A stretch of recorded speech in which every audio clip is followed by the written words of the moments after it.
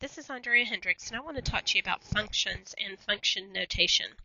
There's a lot of material in this section, and you really only need to be able to work with the function notation. But let me just give you some background information. If I say to you um, the word function just in everyday terminology, what do you think of? I usually think of something that works well.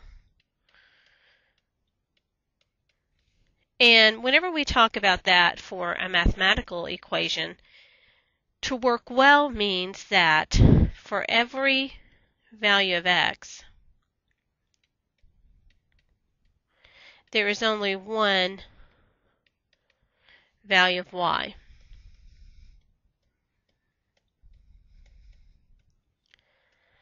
Another way to think of it is for each input, you only get one output. Now, think of this with, for instance, like your um, name and your social security number. Right, if I was entering your social security number in our school's computer system, there should only be one name that corresponds to that, otherwise we would be in a mess. So actually we say that name is a function of social security number. Because that means for each social security number, there's only one name that corresponds to that. Okay. Now that works the other way around as well. Social security number is also a function of name right? If I didn't know your social security number, I could search on your name and I would get your individual social security number. So that means in that case that for each name, there is only one social security number.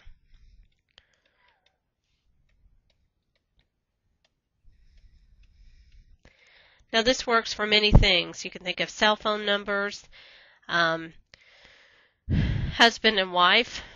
Hopefully, one is a function of the other, right? There's only one person that they can be married to, at least in most states. Um, so, what would not be an example of a function? Like if I said to, um, for each state, name the senator,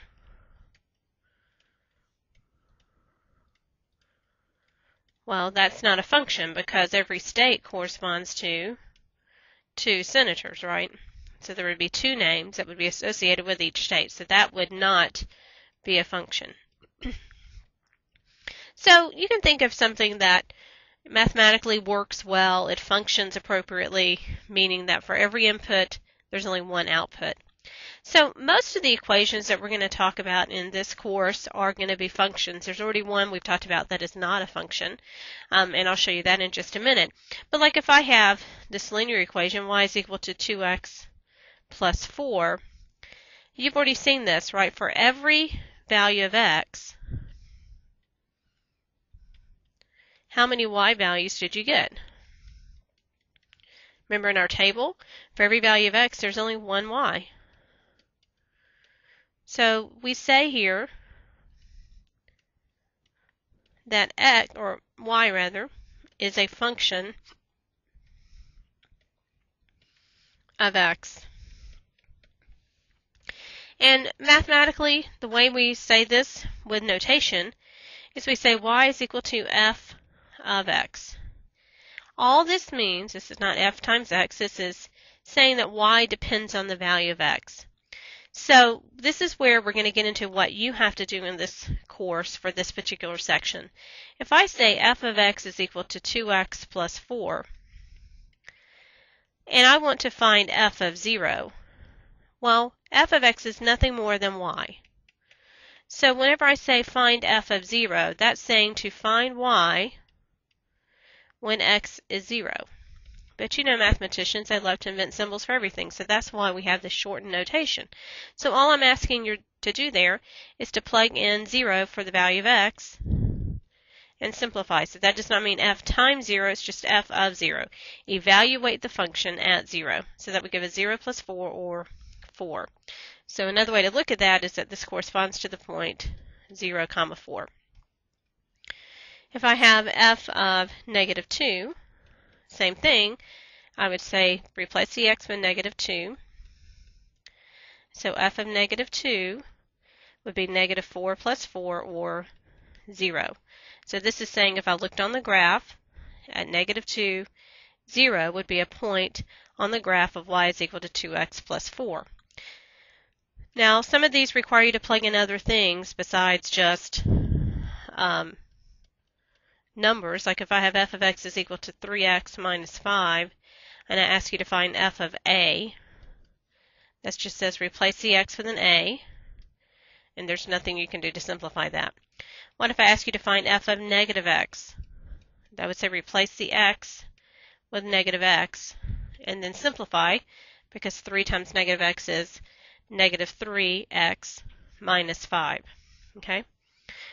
Now let's look at something a little more complicated. If I have f of x is equal to 2x squared minus 3x plus 1, and I want you to find f of negative 4, so this says everywhere you see an x, replace the x with a negative 4. Keep the other expressions in the equation the same. And then you're just going to use order of operations to simplify that. So f of negative 4 would be 2 times negative 4 squared is 16. Negative 3 times negative 4 is plus 12, and then plus 1. So we would get 32 plus 12 plus 1, which if I'm adding right is 45. Okay? So that's all you need to know here. There's some terminology in this course about what x is called as the domain. That is all the values of x that you can plug into the function are called the domain. All the output values are called the range. And you can use the graph to be able to find that. Um, you don't need to know that for this course. You're going to get into that into the next course that you take.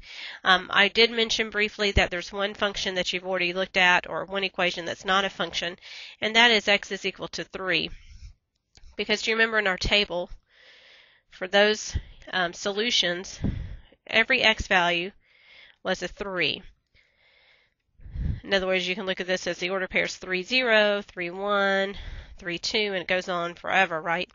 But this is telling me there's an x value of 3 that has more than one output, right? In fact, 3 goes to every value for y. And so this is an example of an equation that is not a function. But pretty much everything else that we talk about in this course is a function. So the primary thing that you need to do in this is to be able to use function notation. Now we'll say one last thing is that you don't always have f of x. It could be g of s is equal to s squared minus 4. If you wanted to find g of negative 3, whatever variable is inside the parentheses is where you're replacing. So you would put in a negative 3 for the s, and then simplify to get a 9 minus 4 or 5. Okay? So if you have any questions on how to use the function notation, don't hesitate to call me. Thank you. Bye-bye.